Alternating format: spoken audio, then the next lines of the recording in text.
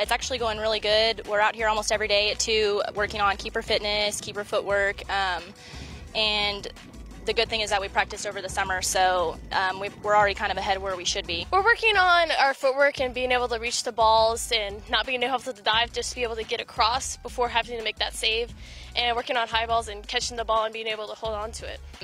Yeah, we're constantly out here trying to help each other and encourage each other. You know, hey, you got that, leave your feet, things like that. So, um, but it's also the other, the whole team's helping us out. Hey, good job, great, great um, save, girls. So um, the whole team encourages each other.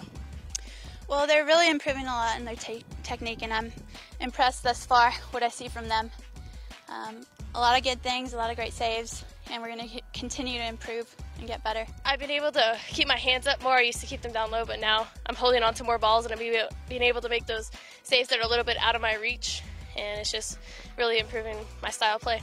Uh, they're doing really well pushing each other. We got um, a little bit of a height difference, but a lot of good competitive spirit.